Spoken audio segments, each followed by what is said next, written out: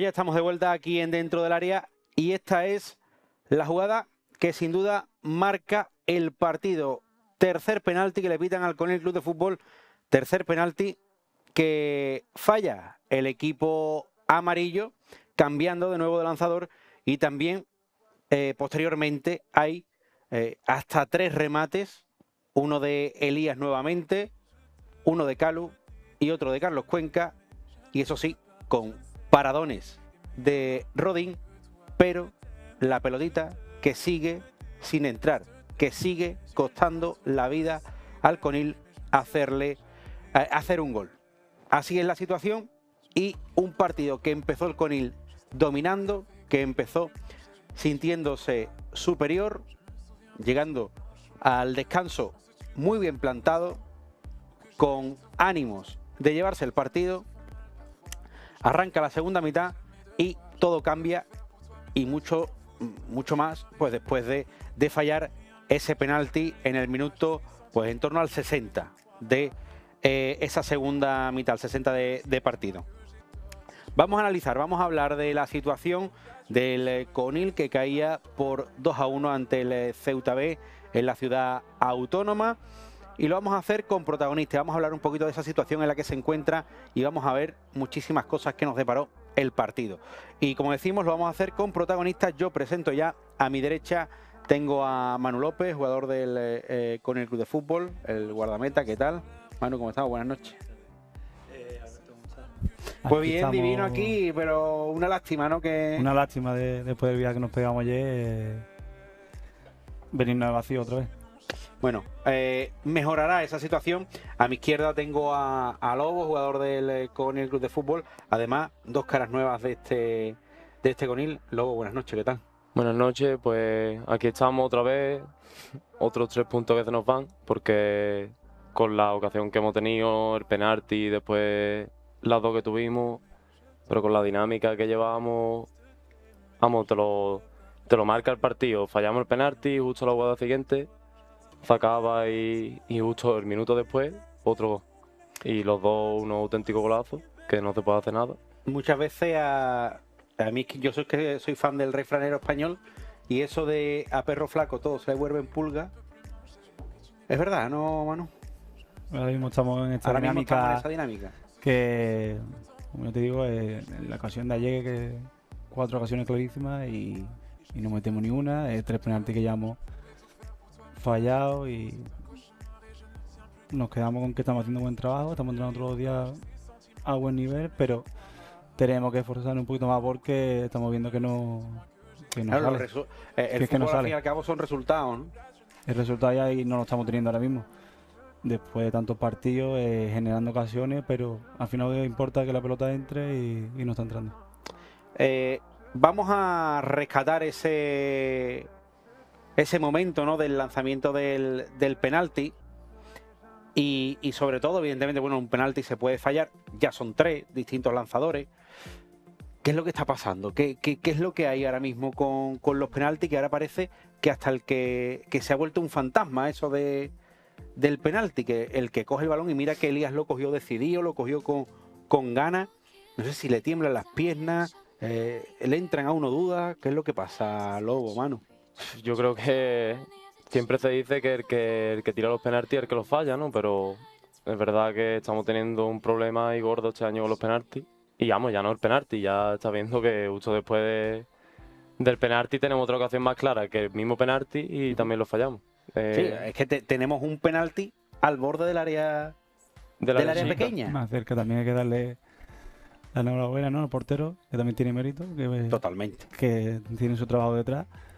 Pero es verdad que ahora mismo tenemos a lo mejor una pequeña presión a la hora de, de tirar el penalti, ¿no? Venimos ya de fallar uno, después el siguiente... Falló, Cuenca, en este caso ahora... entiendo que por cambiar, no por castigar, ni mucho menos a, a Cuenca, que todos sabemos cómo, cómo es y lo que aporta al, al equipo, pero por cambiar lo tira Elías y también falla. Y además, es verdad que evidentemente no es el mejor penalti que ha podido tirar Elías, porque lo tira centradito, eh, media altura.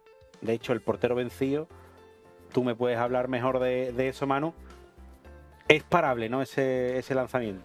esperable. Es verdad que estuvimos hablando con, con Elías después del partido, esto lo otro, y, y lo que dice que al final duda un poco a la hora de tirar el penalti, que duda.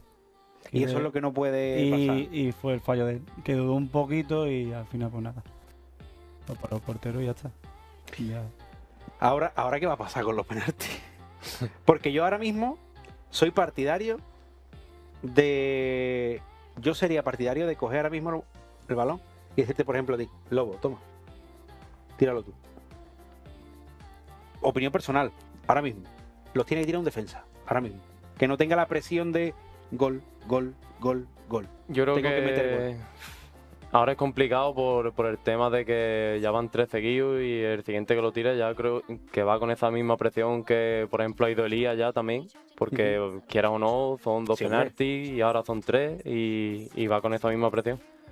Y yo creo que, que es verdad que debería de ir alguien que, que no tenga esa presión de lo, lo tengo que meter. De no soy delantero. dependo del gol. Claro.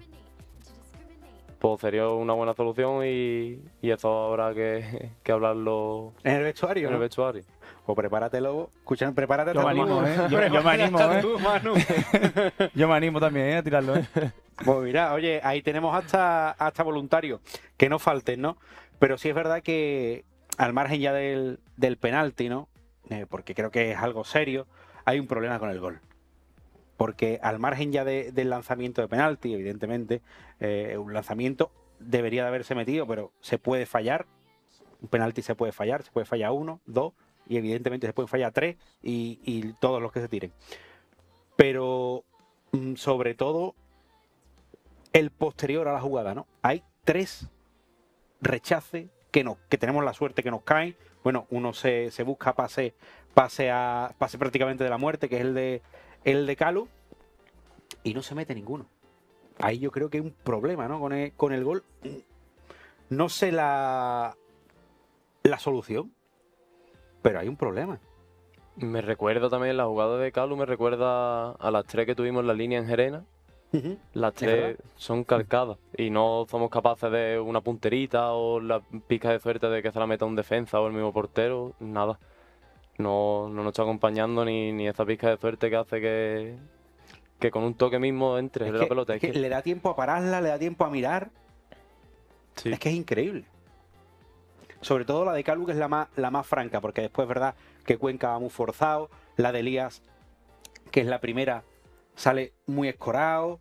Son más difíciles. Pero la de Calu es que está franco Solo. con el portero. Está solo.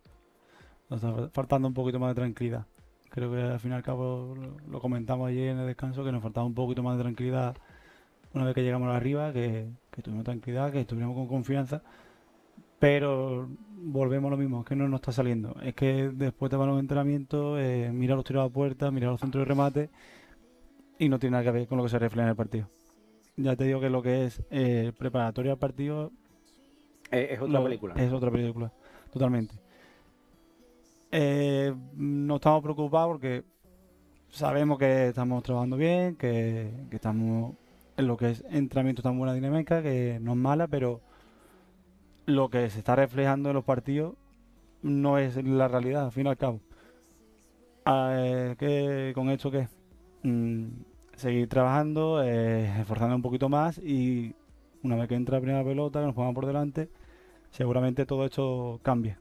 es la clave, ¿no? Que, que nos sonría un poquito. No vamos a pedir mucho. Un poquito la suerte, Un poquito, un poquito, un poquito. Nos vamos a pedir yo- mucho. yo creo que con que nos sonría un poquito, una mínima sonrisa, yo creo que podemos tirar para adelante, vamos. Y además un equipo que, que personalmente mm, a mí me gusta, lo veo que propone, es un equipo que juega, considero que juega bien al fútbol, que tiene jugadores buenos, que no es un equipo para estar como No. estamos, ¿no, Lobo? No, ni mucho menos, vamos, lo veníamos hablando en el camino, que no tenemos para nada equipo para estar ahí abajo. Y, y lo que le he dicho, que si hubiéramos ganado el otro día o nos ponemos por delante, allí hubiera sido muy complicado que no hubieran metido gol porque estábamos muy serios atrás, la verdad. Y ahora viene Cabecense también en casa, que, que son, se puede mirar de otra manera, con una victoria y ya te mete, te mete de lleno otra vez en lo que es la, pomada de, mitad de liga.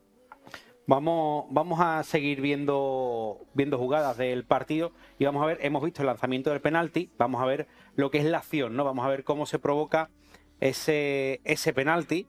Eh, por cierto, que parte, fíjense desde, desde dónde, cómo nace esa jugada, lo bien que se marcha, que se marcha Elías y el portero que ahí, eh, bueno, pues acaba derribando al futbolista argentino.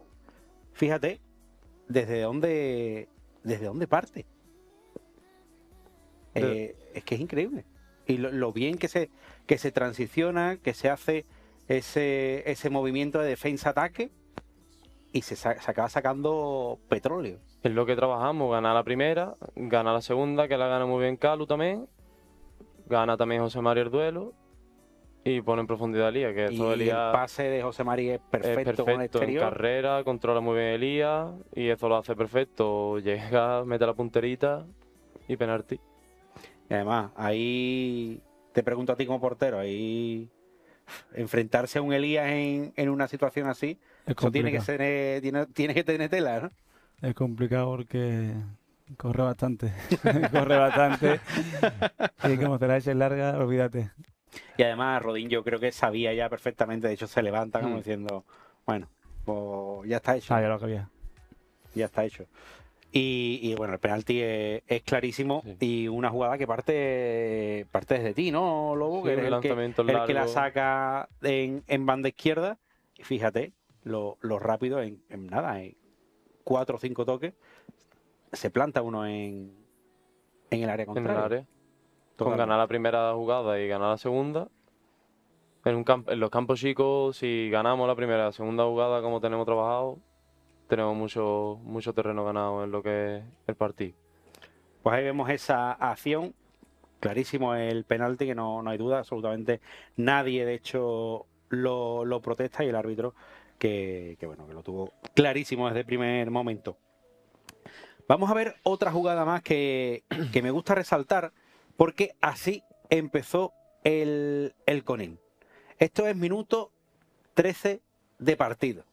O sea, recién empezado. No se había superado ni la primer cuarto de hora. Y el equipo volcado teniendo el balón, centro lateral, remate, eh, vuelve a caer a, a banda, vuelve a tener, Álvaro la cuelga, rechace, nos vuelve a caer, la intentona una y otra vez, insistencia, insistencia, insistencia. Así empezó el, el Conil, buscando lo que había que buscar, ¿no? que no era otra cosa que los tres puntos. Sí, es lo que estamos hablando, estamos llegando, después tenemos creo otra ocasión más que toca José Mari, que estaría también solo para atrás. Eh, estamos llegando, estamos generando ocasiones, pero estamos haciendo buen juego. Estamos dando proponer cuando nos dan la oportunidad, cuando nos golpeamos arriba, eh, estamos dando segunda jugada un partido muy completo, sin fallo en defensa, pero... Y además, eh, es que cuando uno empezó, cuando yo empecé a, eh, ver el, partido, entiendo que todas las personas de casa vieron a un Conil eh, ambicioso, aguerrido, que lo que quería era llevarse los tres puntos. Yo, sinceramente, yo en esos primeros, antes del cuarto de hora de partido, digo, bueno, este partido en principio... Eh, está para que para que nos, traiga, nos traigamos los tres puntos de vuelta en el ferry. Pero se acabó torciendo la cosa. Teníamos muchas ganas desde que, desde que llegamos allí, el tema del viaje nos habíamos pegado desde las 6 de la mañana y dijimos, esto hay que sacarlo para adelante y, y salí del pozo ya de una vez. Y los primeros minutos fueron prácticamente en su campo. Y, Vamos, y a la vista está, la jugada esa son dos centros laterales seguidos, una falta al frente del área y lástima mi pase también, que mi pase fue regular. Si llega a ser medianamente bueno, se encaja Calu solo con el portero. Eso es, vamos a ver, mm, las cosas del, del fútbol y, que bueno, quizás ahí... Eh, ese, no es tu fuerte, esa no es tu fuerte, lobo. Lo mío es lo anterior, que la, la robo y ya. Una vez que la robo al lado, ya está. Ahí eh. estamos. Pero bueno, ahí queda esa, esa jugada que, que, bueno, que describe perfectamente lo, lo, lo, bien, ¿no? Que, que empezó el, el Conil, una lástima que no, que no acabase igual. Bueno, vamos a ver los goles. Empezamos por eh, ese primer tanto de el, eh, la agrupación deportiva Ceuta B, que esto ocurre cuatro minutos después aproximadamente del, del fallo en el penalti. Se saca esta obra de arte Gonzalo, que además fue uno de los jugadores que más quebraderos de cabeza dio al, al Conil. Bueno, poco, poco nada. Eh, ante Mm, eso, Nada, coge la pelota de la red y, y saca de centro. es que un, vamos a ver Complicado. al otro, pero un golazo. Es que hay- Es ante eso no complicado. se puede hacer nada. Tiene viento a favor, eh, está soplando fuerte, controla y golpea cómodo. Golpeó creo que en la primera parte una y salió al medio, creo que después otro golpe más al medio y, y ya está pues la coló. Salieron lo- los defensas bien a, tratar de y- tapar, pero sí es verdad que llegaron un pelín tarde quizás a, a ese, a ese lanzamiento. Y, y bueno, la verdad es que, que es un golazo y eso También pues con- entiendo que, que es un mazazo, ¿no? Eso fue un jarro de agua Sí. fría. Venimos de, de- del haber puesto, del haber podido poner el 0-1 a que te metan el 1-0, ¿no? Eso fue, vamos, y yo creo que ese- esa falta de concentración es lo que nos hizo también encajar el segundo gol, porque si, vamos, ahora lo veremos. Yo creo que si no llegamos a ver encajado el primero, el segundo no viene, porque es eso, es falta de concentración de... Sí, ya, eh, ve, a mí lo que me preocupa ya es ver eh, esa imagen que vemos, que vemos justo después cuando están celebrando los compañeros del, del Ceuta, de Óscar Oliva, de José María, la cabeza baja.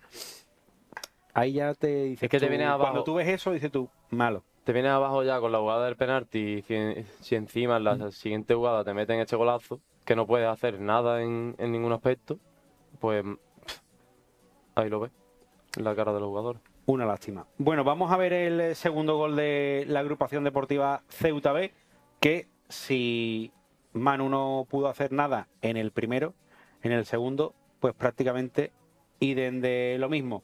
Hay un rechace, otro rechace, el balón, que fíjate dónde acaba, y desde ahí Víctor hace eso. Brutal. Le salió. Le salió el tiro. Eh, Paco no toca en los tacos de, de Pablo. Y, y ya te digo, con el viento a favor, al final aprovecharon muy bien. Creo que no va a volver a salirle ese tiro. Lo creo. Pero nada, ante eso no podemos hacer nada. También, como estamos diciendo antes, que después de- del penalti creo que nos venimos un poquito abajo. Aparecen los fantasmas que están apareciendo últimamente. Nos desconectamos y, y nos meten el primero. Y este segundo es acto seguido después del primero por, por lo mismo. un minuto, un minuto. Es un minuto, sí. Sacamos de centro, creo que perdemos la pelota de arriba y falta de concentración. Al fin y al cabo es falta de concentración y, y nos meten el segundo. Y por mucho que, que te, que te intentas estirar, difícil. Para nada.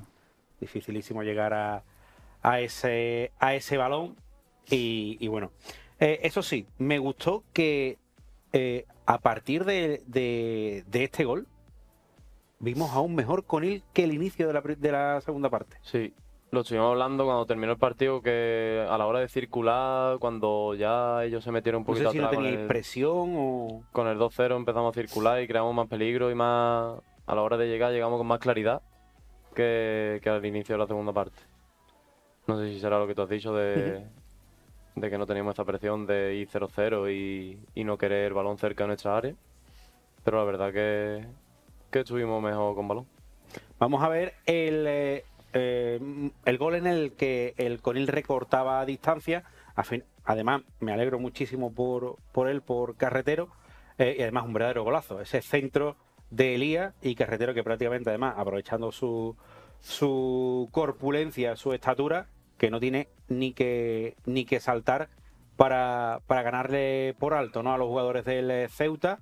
Jugada perfecta de libro y de las que de las que se, se ven, pues yo creo que cada, cada partido, ¿no? Ese centro de Elías perfecto medido y carretero que pone en la cabeza. Y además, mm, lo decía antes, ¿no? Me alegra que sea carretero, el que me hubiera alegrado cualquiera, ¿no? Pero es verdad que los de arriba me alegra que porque vayan viendo puertas. Cogiendo confianza al final. Eso es.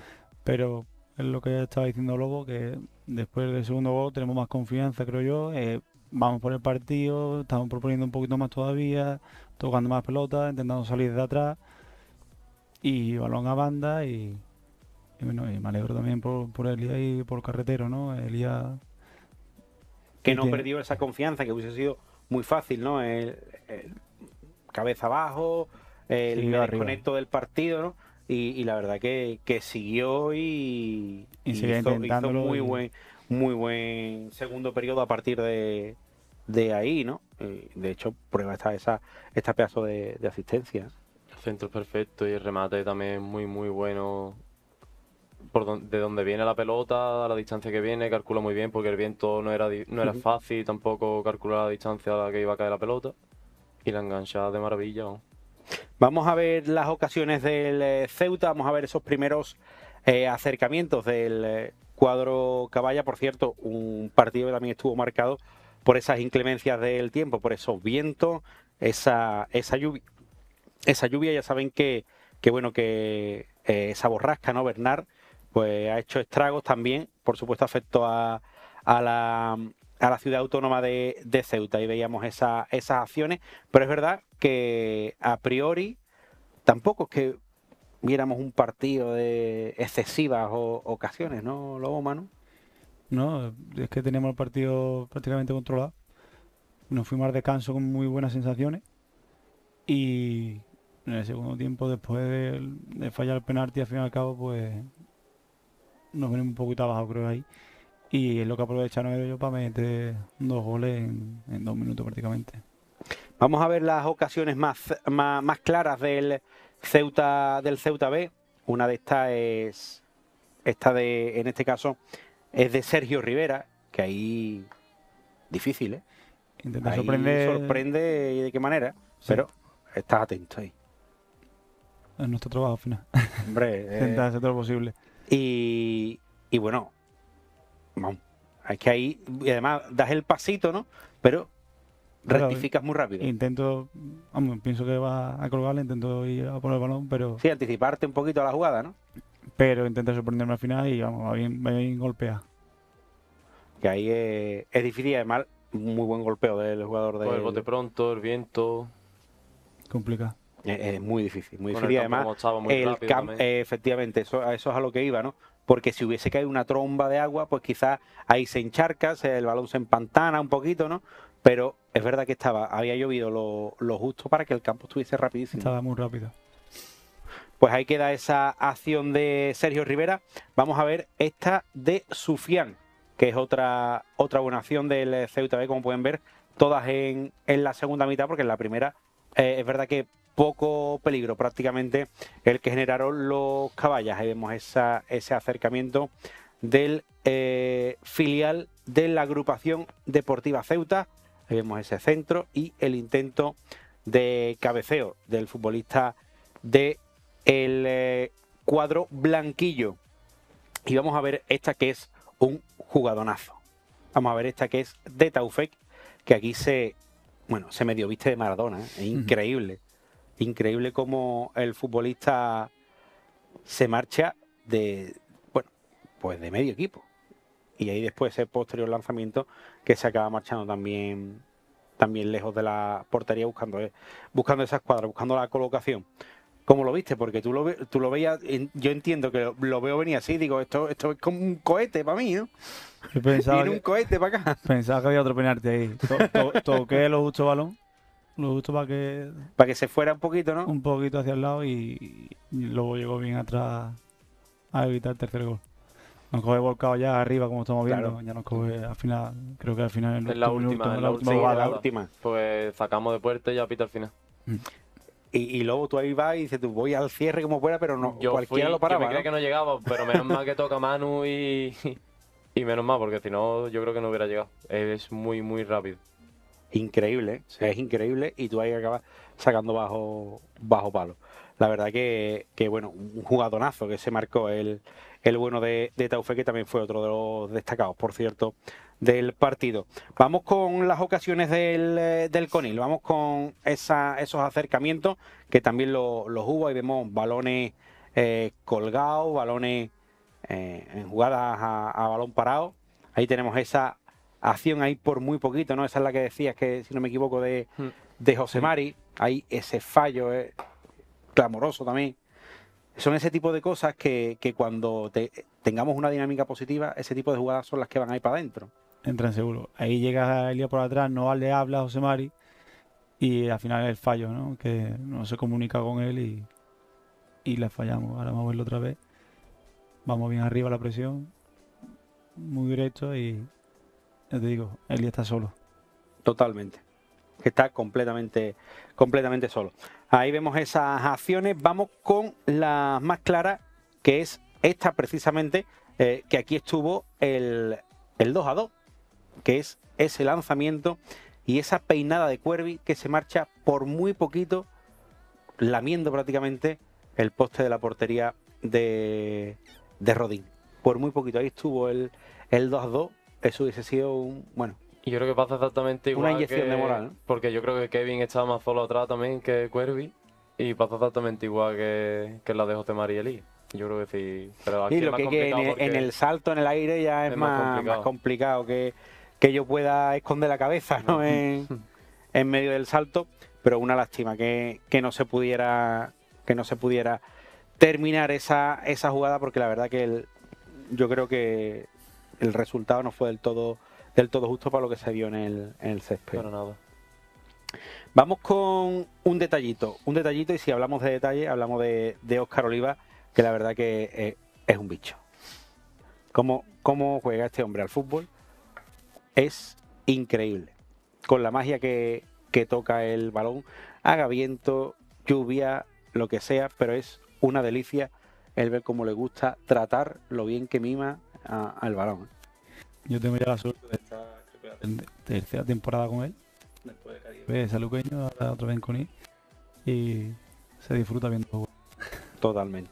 Y... Técnicamente yo creo que no hace falta decir nada. Es, es muy, muy, muy, muy bueno. Y lo único que me está faltando, que es lo que estoy echando de menos de, de Oscar este año, es esa llegada ¿no? que nos tenía acostumbrado el año pasado desde segunda línea. Es lo que estoy echando un poquito más en, falta, que es verdad que, que, llegaba desde segunda línea y decía tú, llega Oscar, medio gol. Esos lanzamientos de segunda línea. que le gusta llegar. Le falta todavía un pelín para ponerse a punto, pero aún así entiendo. Eh, le sobra, le sobra clase, más le, sobra más clase que un colegio. Es increíble, la verdad, que el tío es, es un bicho. Pues vamos a ver resultados y clasificación después de esta nueva jornada donde el Sevilla C y el Coria empataron a 3, el Jerez Club Deportivo empató a 0 contra el Club Deportivo Utrera, el Cabecense ganó 1-0 a la agrupación deportiva Cartaya, será el equipo de las cabezas de San Juan el próximo rival del Coria Club de Fútbol, el Córdoba B y Pozo Blanco empataron a 1, el Ayamonte cayó 0-3 en casa ante La Palma, el Gerena también cayó en casa 1-2 ante el Boyullo, este partido que analizamos este Ceuta B2 con el 1, el Ciudad de Lucena ganó en casa 1-0 al Jerez de FC y el Atlético Espeleño también cayó en casa 0-3 ante el Salen Puente Genil en el duelo cordobés de la jornada. Vamos a repasar la clasificación que queda así. El Ciudad de Lucena es el líder junto con el Jerez Club Deportivo con esos 17 puntos. Tercero tenemos al Utrera con 13, mismos puntos que Puente Genil y Boyullo, que ocupan la cuarta y quinta plaza respectivamente. Sexto está el Sevilla C con 11, 10 eh, puntos tiene séptimo el eh, Ceuta B, mismos puntos que el Pozo Blanco, que es octavo. Con 9 puntos tenemos al Córdoba B, que es noveno. Mismos puntos que La Palma. El Gerena es décimo primero con 8 puntos. También tiene 8 puntos el Jerez de FC, décimo segundo. Décimo tercero tenemos con 7 al Atlético Espeleño, mismos puntos para el Cabecense, décimo cuarto. Tenemos ya al Cartaya con 6 puntos, décimo quinto. Con 5 tenemos al Coria ya en descenso, decimocuarto, mismos puntos que el Ayamonte con esos 5 puntitos, séptimo y el Conil, que no nos gusta nada verlo, ahí es el farolillo rojo con tan solo dos puntitos. Esperemos que pronto se le dé la vuelta a esa, a esa situación, porque yo creo que, vamos, y confío en que no vamos a estar ahí a final de temporada. ¿Verdad, mano? Duele verlo la clasificación ahora mismo, pero Hombre, ahora tiene que ser anecdótica. Ah, sí, yo ya digo, miré ayer creo que por primera vez la, clasificación y no, no me gusta mirarla, la verdad, no, no la miro, directamente no la miro. Pero ayer ya tenía ya... La angustia, no La te lo pedía el cuerpo. Pero nada, al final ganamos un partido y viendo y te metes tanto, ahí, ¿no? tanto cerca. Esta semana jugamos contra la Cabecense. Que es una manera también de recortar puntos a tres un rival puntos directo. y lo tiene ahí otra vez a dos puntos y nada. Ahora viene Cabecense, después vamos a Cartaya, que son dos equipos que están ahí y, y yo creo que son los que van a marcar también dónde vamos a estar. Si queremos estar a mitad de tabla, queremos estar arriba o queremos estar abajo. Por lo menos salir a morir este domingo e intentar conseguir los tres puntos contra el Cabecense. Segurísimo, segurísimo que sí, que lo vamos a, a conseguir.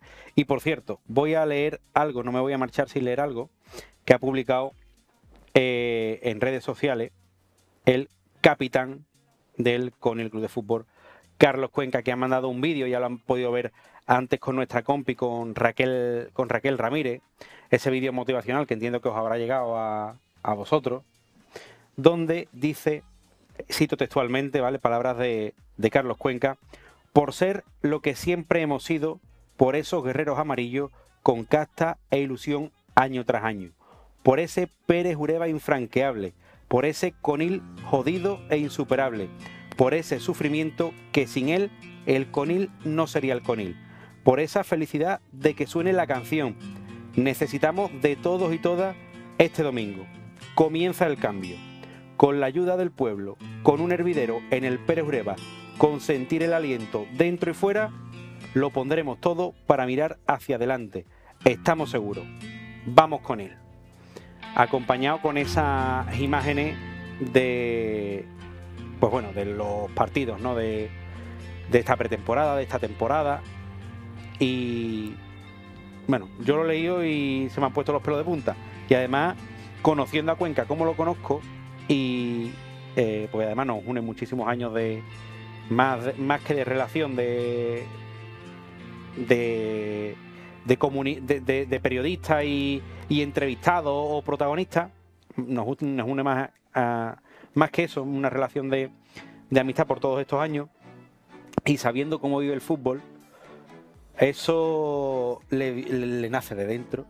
Y, y estoy convencido que él es el primero que, que va a remar para darle la vuelta, por supuesto acompañado de, de todos los, los futbolistas que vamos, no me cabe la, menor duda que vais a, dar el 200%, el mil por, mil el millón por millón para darle la, vuelta a esta situación. Así que queríamos terminar con esas palabritas del bueno de, Carlos. Así que nada, Manu, muchísimas gracias por compartir este ratito con nosotros. Lobo, y de lo mismo, además los dos os estrenáis aquí en este espacio. Espero que la próxima vez que nos veamos y la próxima vez que charlemos, lo hagamos en una posición mucho mejor y hablando de cosas mucho más positivas. Esperemos que sí. Seguro que sí. Muchísimas gracias. Muchísimas gracias a los dos. Y ya saben, eh, nosotros nos vemos hasta la semana que viene. Eso sí, si quieren seguir disfrutando del fútbol, no se marchen porque ahora llegan los compañeros de la Rafty Live. Hasta luego.